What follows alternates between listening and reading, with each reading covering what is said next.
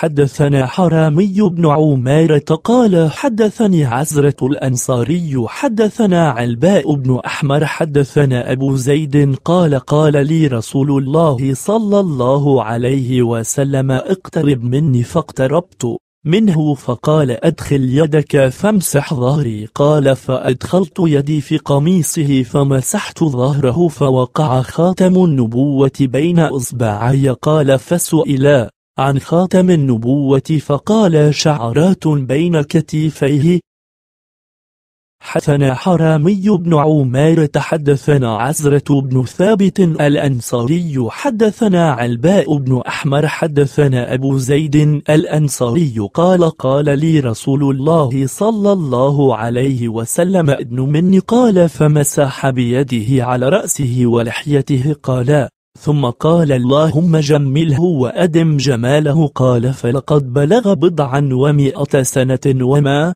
في رأسه ولحيته بياض إلا نبذ يسير ولقد كان منبسط الوجه ولم ينقابض وجهه حتى مات. حدثنا عفان حدثنا عبد الوارث حدثنا خالد عن أبي قلابة عن عمرو بن بجدان عن أبي زيد الأنصاري قال مر رسول الله صلى الله عليه وسلم بين أظهر ديارنا فوجد قوتارا فقال من هذا الذي ذبح؟ قال فخرج إليه رجل منا فقال يا رسول الله كان هذا يوم الطعام فيه كريه فذبحت لآكل وأطعم جيراني؟ قال فأعد. قال لا والذي لا إله إلا هو ما عندي إلا جذع من الضأن أو حمل قالها ثلاث مرار قال فاذبحها ولا تجزئ عن أحد بعدك.